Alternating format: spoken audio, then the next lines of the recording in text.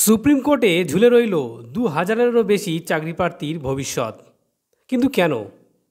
রাজ্যে প্রাথমিক শিক্ষা পর্ষদের উদ্যোগে কয়েক মাস আগেই প্রাথমিকে ন হাজার পাঁচশো তেত্রিশ জন শিক্ষক নিয়োগ করা হয়েছে। এগারো হাজার সাতশো আটান্নটি মোট শূন্যপদের মধ্যে এখনও দু হাজার দুশো পঁচিশটি শূন্যপদে নিয়োগ বাকি আছে বলে সূত্রের খবর। ওই শূন্যপদগুলিতে শিক্ষক নিয়োগের জন্য ইন্টারভিউ প্রক্রিয়ার কাজ ইতিমধ্যেই শেষ করেছে পর্ষদ।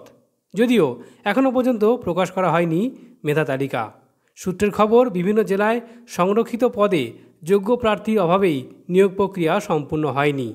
এই আবহে দ্রুত মেধা তালিকা প্রকাশ ও নিয়োগ প্রক্রিয়া সম্পন্ন করার জন্য শীর্ষ আদালতের দ্বারস্থ হয়েছেন দু হাজার কুড়ি দু সালের ডিপ্লোমা ইন এলিমেন্টারি এডুকেশন বা ডিএলইডি পাস চাকরি প্রার্থীরা বুধবার সুপ্রিম কোর্টের বিচারপতি এ এস বোপান্না এবং বিচারপতি সঞ্জয় কুমারের বেঞ্চে এই চাকরি প্রার্থীদের হয়ে সওয়াল করতে গিয়ে পর্ষদের ভূমিকাকে কাঠগড়ায় তোলেন বর্ষিয়ান আইনজীবী পি এস পটোয়ালিয়া।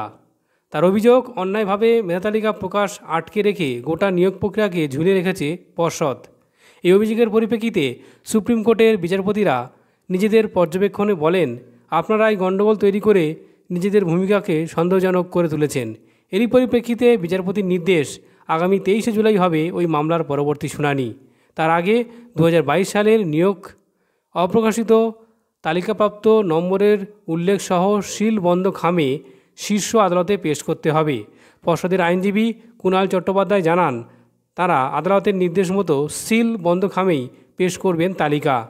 প্রাথমিকে সহকারী শিক্ষকের চাকরি পেতে দু সালে নিয়োগ প্রক্রিয়ায় দু হাজার কুড়ি ও দু হাজার বাইশ ব্যাচের ডিএলএড প্রশিক্ষিত অংশরা নিতে অংশগ্রহণ করতে পারবে কি না তা ঠিক করে দেবে সুপ্রিম কোর্ট। তাই কারা ওই পদের জন্য যোগ্য দু হাজার বাইশ সালে নিয়োগ প্রক্রিয়ায় কারা অংশগ্রহণ করেছিল তারা বিস্তারিত মুখবন্ধ খামে আদালতকে জমা দেওয়ার নির্দেশ দিয়েছে শীর্ষ আদালত।